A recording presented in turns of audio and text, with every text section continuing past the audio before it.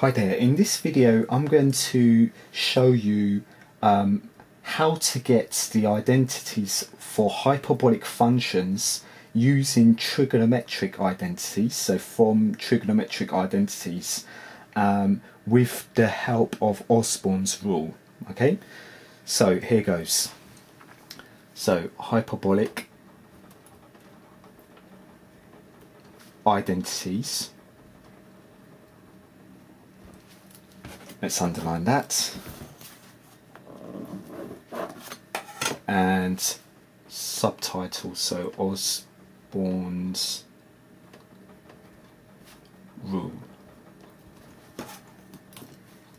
Let's underline that also.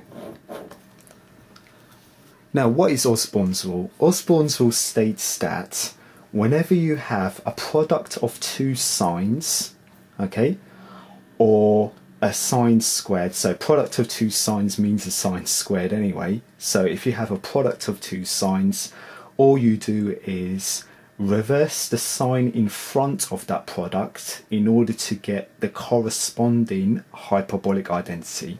So let me just repeat. Whenever you have a product of two sines in a trigonometric identity, change or reverse the sign in front of that product in order to get the corresponding hyperbolic identity. Okay, so let me write that down. So I'll write it out in a shortened form. So whenever we have a product of two sines, okay, so the idea is change the sign. So change means you change as in reverse the sign. So change the sign in front of the product to get the corresponding hyperbolic identity. So just change the sign in front of the product of your two sines to get the corresponding hyperbolic identity. Okay, so let me underline maybe the um, important part. So whenever you have a product of two sines, okay, so product of two sines, all you do is change the sign, okay, in front of the product to get the corresponding hyperbolic identity. Okay, so change the sign in front of the product, okay? So let me show you how this works. So what, what I like to do is, I'll go through some examples with you. So let me just create a, um, a table maybe, okay? So uh, a table with two columns. So first column trigonometric identities and on the right hand side let's say uh, hyperbolic. So hyperbolic identities. Okay. So my rule is not long enough. However we'll we'll do the best that we can do.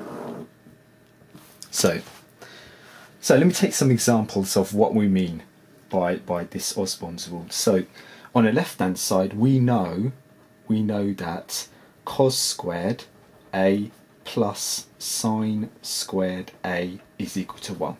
Okay? Now let me show you how Osborne's rule works. So you only change the sign in front of the product, so the product of two sines, to get the corresponding hyperbolic identity. So I have a sine squared, that is a product of two sines okay?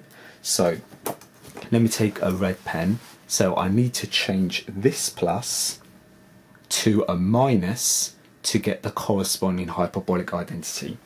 So in this case our hyperbolic version is hyperbolic cos squared a minus hyperbolic sine squared a is equal to 1 okay? So it's plus um, whenever you uh, in the trigonometric identity. Yeah. So remember, only reverse the sign in front of the product to get the corresponding hyperbolic identity. So this plus changes to minus. Okay. So let's try another example. Now, also remember, okay, um, tan, so tan squared uh, means, so tan squared is comprised of a sine squared over a cos squared. So even when it comes to tan squared, you need to change the sign in front of that product, okay? Not only that, remember, cot squared is cos squared over sine squared. So again, you've got sine squared, okay, involved with cot squared. You need to change the sign in front of the cot squared.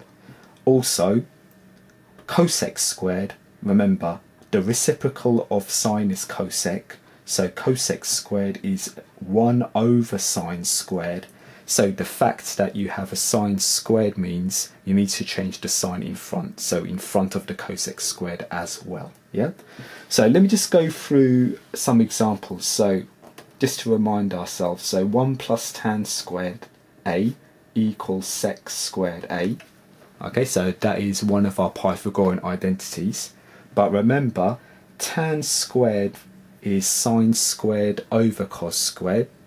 So on that note, we need to reverse the sign in front, which is plus, okay, and we change that plus to a minus. So the corresponding hyperbolic identity is 1 minus hyperbolic tan squared a equals hyperbolic sec squared a. Okay. Also, another hyper, uh, Pythagorean identity: one plus cot squared a equals cosec squared a.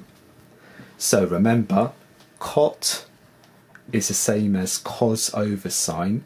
So cot squared is cos squared over sine squared. So again, sine squared being involved. So we need to change the sign in front, which is plus, to a minus. But also, cosec squared is 1 over sine squared. So the fact that this involves a sine squared means we need to change this sign in front from plus to a minus as well. Yeah? So by doing that, we'll have 1 minus cot squared a, or hyperbolic cot squared. So um, let me delete that. So 1 minus hyperbolic cot squared a equals minus hyperbolic cosec squared a. And if you multiply this equation with a minus, okay, you can write it in the form uh, hyperbolic cot squared a minus 1 equals hyperbolic cosec squared a. Okay? So remember, you only do this when you have a product of two sines. Um, and also, don't forget, you also do this with tan squared, cot squared, and cosec squared because they involve um, sine squared as well. Okay. So that completes this video. Um, I hope you found this video helpful. Okay. And um, I hope to see you in the next video. Thank you.